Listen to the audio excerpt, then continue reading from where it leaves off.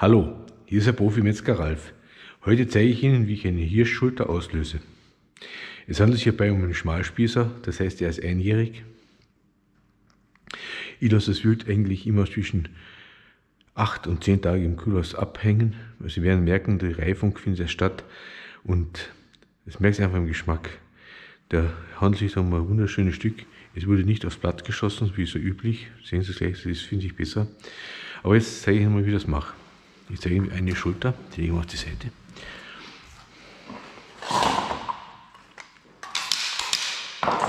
Ich lege immer so, dass der Vorderlauf zu mir schaut. Da ist das Schulterblatt, das Mittelknochen und der, Ober und der, der Ellbogen. Und der Ellbogen geht daher. Sie müssen also den Schnitt von da bis daher machen. Und was ich auch sagen will, wenn Sie heute jetzt zerlegen, ganz wichtig ist immer, dass Sie Kettenschürzen tragen. Der Kettenhansch können Sie tragen, müssen Sie nicht tragen. Da kann Ihnen nicht so viel passieren. Aber wenn Sie da sich im Bauch schneiden, bitte tragen Sie immer eine Kettenschürzen. Ist einfach Ihre Sicherheit. Kostet nicht die Welt, die haben es ewig und es rentiert sich auf jeden Fall. So, dann fangen wir an. Immer schauen, dass wir mit dem Messer schön am Knochen sind. Da ist der Ölbogen.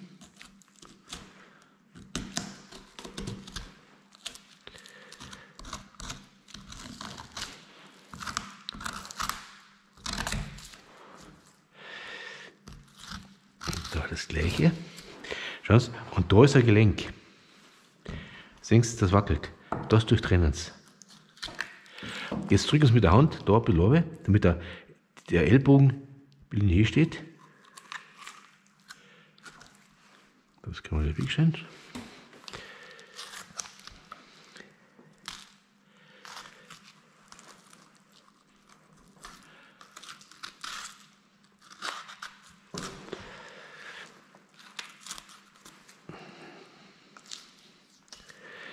Sie. Und der Knochen ist sauber. Das kann man ein bisschen rausschneiden. Weil Sie das nicht machen, ist auch egal. Aber machen wir es.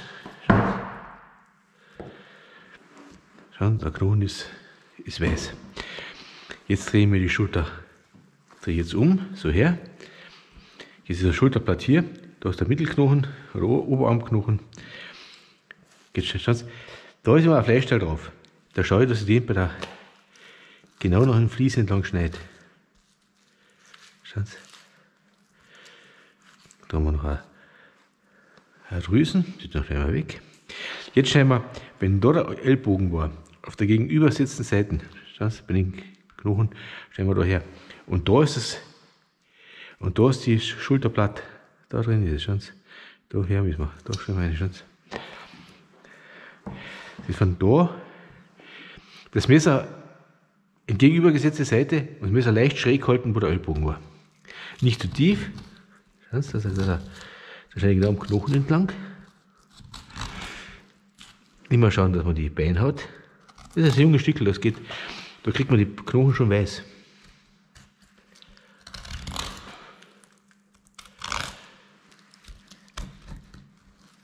Und schauen Sie, das wird schon passen so. Und jetzt das Schulterblatt. Jetzt nehmen wir erst das Schulterblatt raus. Das Schulterblatt, Sie sehen da ist eine Linie. Wenn es die andere Schulter ist, müssen Sie da reinschneiden. Aber ich schneide jetzt, was so liegt, schneide es von der Seite. Und da ist die, die Naht, schauen Sie. Und da schneide ich so, dass ich am Blatt um bin. Dann nehme ich Messerrücken.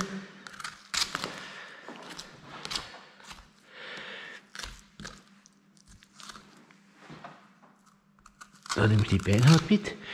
Da, auf der Seite jetzt aufpassen, nicht zu tief, nicht zu tief reinschneiden, weil sonst kriegen Sie es immer rausgerissen. Gleich ein bisschen, diese Messer so.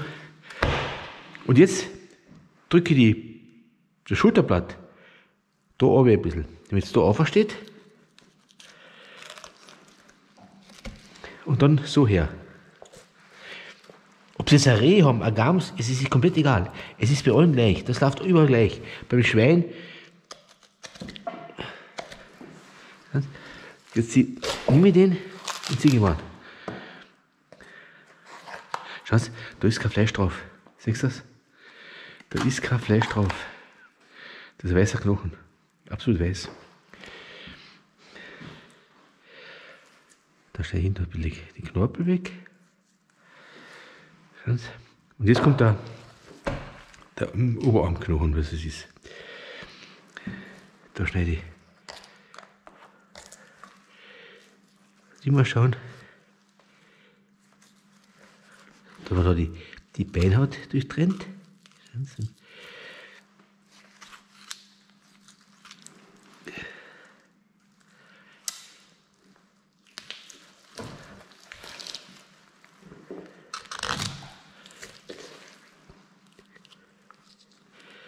wenn das so haben, ich drücke immer mit Ellbogen ein bisschen drauf. Und da.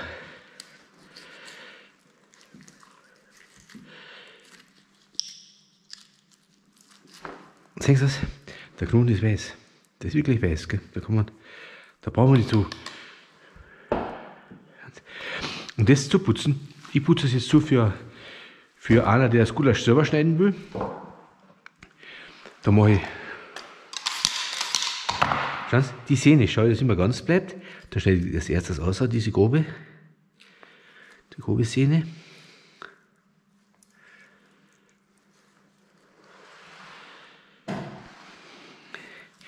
Jetzt schneide ich. Also da ist das, das Schulterblattdeckel. Das Flachsige schneide ich weg.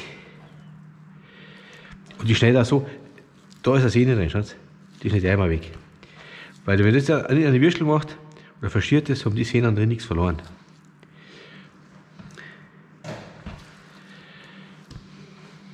Da schneiden wir weg.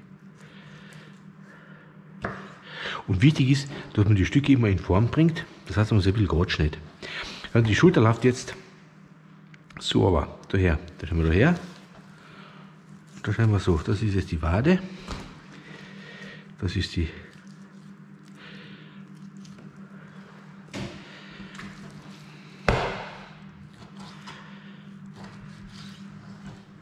Immer schauen, dass man schön in Form bringt. Dann drehe ich es mir um. Und da ist das Schultermeißel, Schulterscherzel. Da schneide ich das, die Haut ein bisschen weg.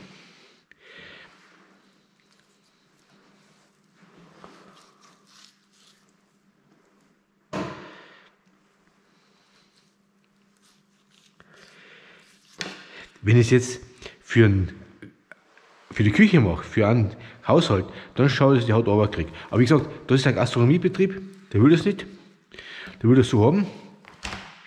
Da schneide ich vorne den, da ist auch, das ist die dicke Schulter. Da schneide ich auch immer, da ist eine grobe Sehne, die schneide ich vorne den Kopf gerade ein bisschen weg. Und da wird auch so ein Backel. Da ist noch eine, eine Drüsen, die kommt weg.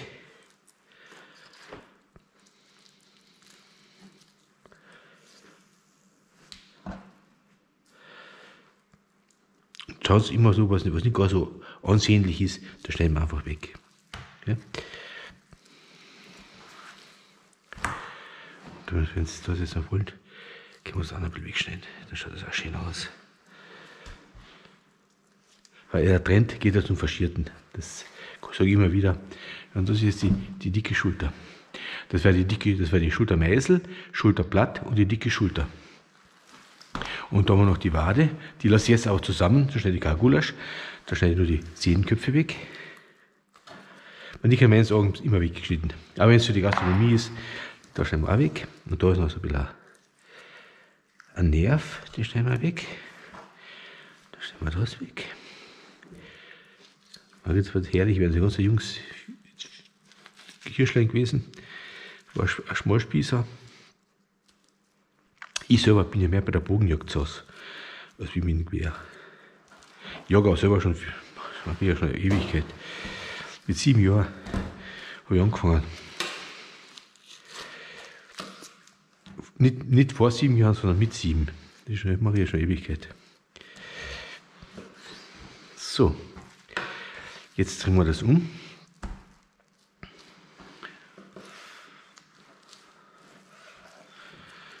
Schauen da ist noch eine Aura. Die stellen wir noch.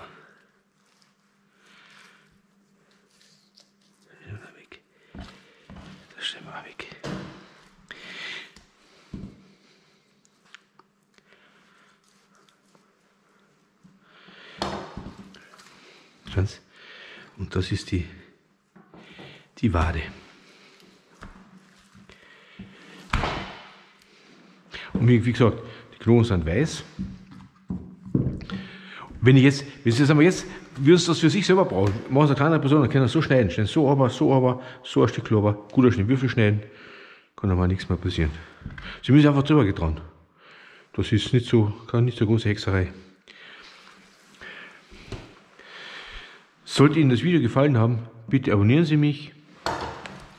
Legen wir uns ein bisschen so her, dass man das auch sieht. Abonnieren Sie mich, Daumen nach oben. Für alle Jäger wünsche ich natürlich ein kräftiges Weltmeisterfeld 2021. Ihr Profi-Metzger Ralf.